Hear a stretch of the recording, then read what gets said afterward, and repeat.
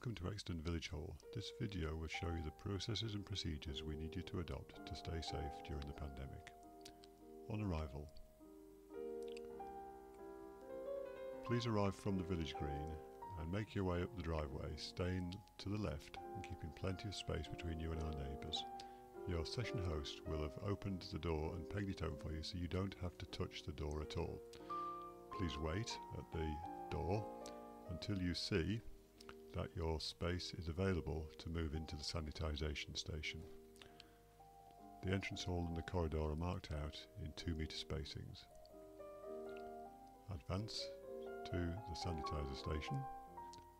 You'll see we have an automatic sanitiser. There is no need to touch, simply place your hands underneath the dispenser nozzle. Like so. Now the one-way entry system. We enter from the dispenser, up the corridor, past the toilets, and into the small room. You can drop your coats, if you have them, in the small room, and then into the large hall where exercises will take place.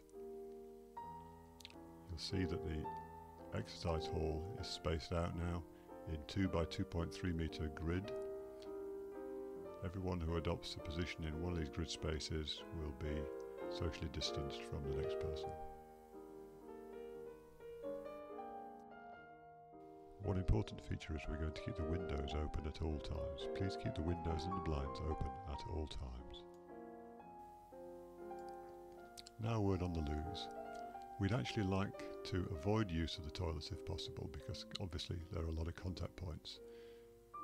But just to show you what we've done to make sure that you minimise the amount of contact, here's a look in the ladies. As before, nice and bright and airy, windows open.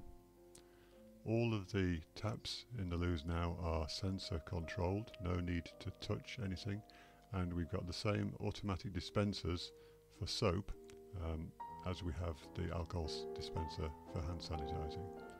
So completely touch free as far as the dryer. Unfortunately you'll have to handle the door to get out. Now how to get out. Two exits. Your host will open the fire door and if you wish you can sanitize on the way out. Of course there's the main exit as well. When you're leaving through the fire door, please stay to the right and leave plenty of space with our neighbour. Here's the main exit. Again, going out orderly, making sure you leave plenty of space between you and the next person. Sanitize if you wish. And that's it. And this is the way to stay safe. Thank you for watching.